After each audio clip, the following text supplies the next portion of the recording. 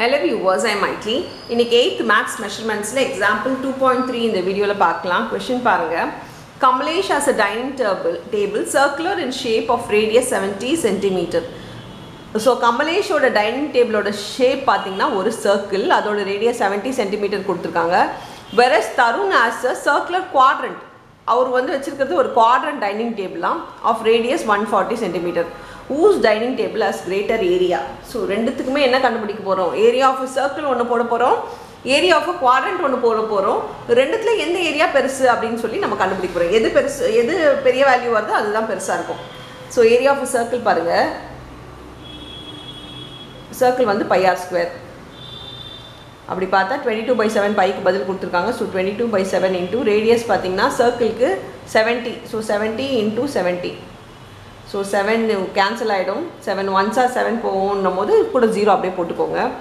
இது அப்படியே நம்ம மல்டிப்ளை பண்ணிக்கலாம். செவனில் முதல்ல இதுவால் மல்டிப்ளை பண்ணிக்கலாம். செவன் டூஸ் ஆஃப் ஃபோர்டீன் மறுபடியும் seven two of fourteen plus one fifteen எத்தனை ஜீரோஸ் பேலன்ஸ் இருக்குது பின்னாடி ரெண்டு ஜீரோ பேலன்ஸ் இருக்குது வெறும் நான் செவனை டுவெண்ட்டி டூவால் மல்டிப்ளை பண்ணி எழுதிட்டேன். பேலன்ஸ் பின்னாடி இருக்க ஜீரோஸை இப்போ எழுதிக்கோங்க. சென்டிமீட்டர் ஸ்கொயர் இதுதான் ஏரியா ஆஃப் அ சர்க்கிள் அதாவது கமலேஷோட டைனிங் டேபிளோட ஏரியா நம்மளுக்கு ஓ fifteen thousand four hundred centimetre square வந்திருக்கு. இப்போ நெக்ஸ்ட்டு தருணோடது பார்க்கலாம். Area of a quadrant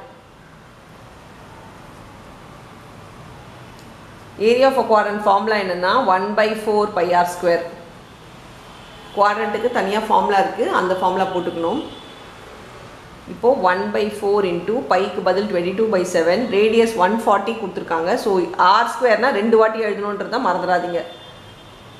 ஆறை ரெண்டு வாட்டி எழுதணும் இப்போ பாருங்கள் செவன் டேபிள்ஸில் போகும். Seven twos are fourteen zero இது டூ டேபிள்ஸில் போகும். Two ones are zero two twos are four இது மறுபடியும் நான் டூ டேபிள்ஸில் கேன்சல் பண்ணிக்கிறேன். டூ லெவன்ஸ் ஆர் எங்கே வேணால் கேன்சல் பண்ணலாம். ஜீரோ இருக்கிறதெல்லாம் விட்டுடுங்க. ஏன்னா இந்த மாதிரி நம்பராக போட்டிங்கன்னா உங்களுக்கு ஈஸியாக இருக்கும்.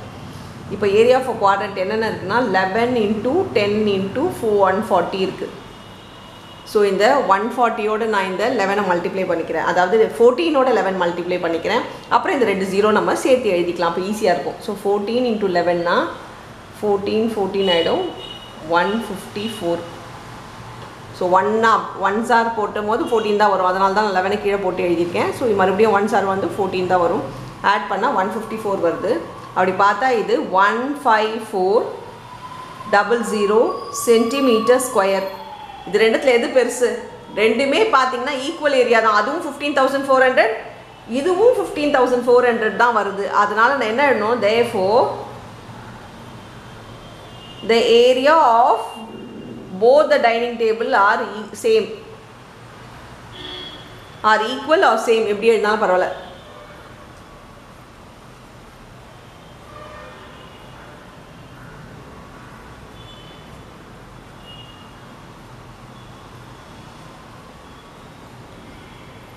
ஸோ ரெண்டுமே நம்மளுக்கு என்ன வந்துருச்சு? சேமாக வந்துருச்சு. ரெண்டுமே ஈக்குவல் ஏரியா தான். Fifteen thousand four hundred is equal to fifteen thousand four hundred centimetre square இருந்தாலும் பரவாயில்ல.